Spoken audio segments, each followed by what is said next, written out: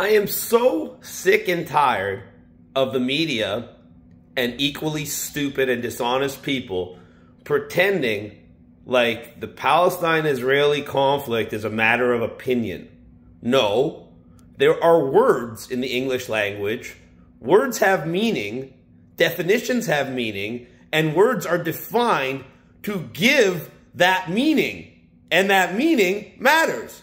Let's take the word genocide. From the UN, Article 2, it means to destroy in whole or in part people based on their ethnicity, religion, or culture. What is happening in Palestine? For the last 75 years, they've been waging a war against people without an army. They've been bombing them. They've been stealing their land.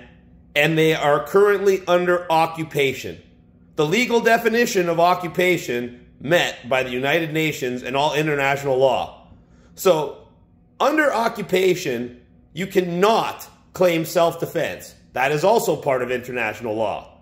So, these are not opinions, these are called facts, and facts matter.